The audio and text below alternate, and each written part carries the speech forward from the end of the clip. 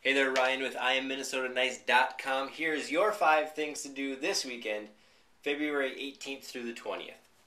Number one, take a kid fishing weekend. All weekend long, the, actually it's the 19th through the 21st. It includes President's Day.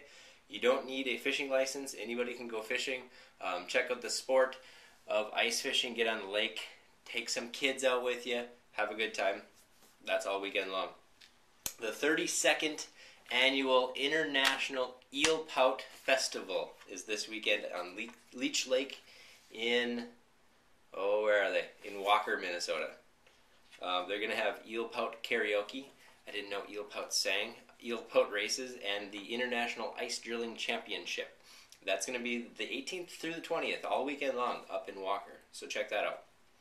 There's a Scottish Ramble at the Landmark Center in St. Paul. They're going to have bagpipes, Highland dancing, uh, Scottish meat pies. Sounds delicious.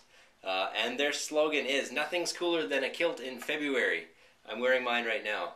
I'm not going to show it to you, but it's on. Looks pretty good. I like it. Number four, King Tut and the Great Pharaohs at the Science Museum of Minnesota. Uh, the Great Pharaohs of Egypt. There's a lot of stuff happening in Egypt right now.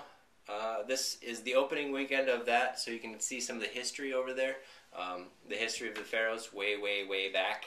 Pretty cool. I'd like to get to that. But can't go this weekend because I have the St. Cloud Polar Bear Plunge this weekend.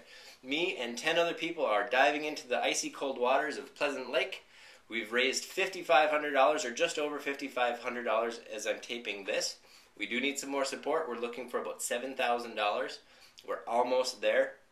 And just so you know, if our team hits our goal, I will bike from St. Cloud, Minnesota to the capital in St. St. Paul, Minnesota. So get out your wallet, donate to the plunge. It goes to the Special Olympics of Minnesota, so those kids can do their Special Olympics. I think there's 6,000 kids that it goes towards. So check that out. I'll post a link below. Please donate some cash to it $5, $10, whatever you got. That would be great. There's your five things. Have a good weekend.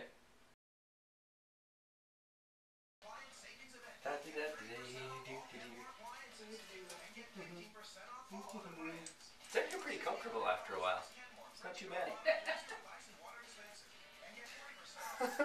I bet you thought I was kidding.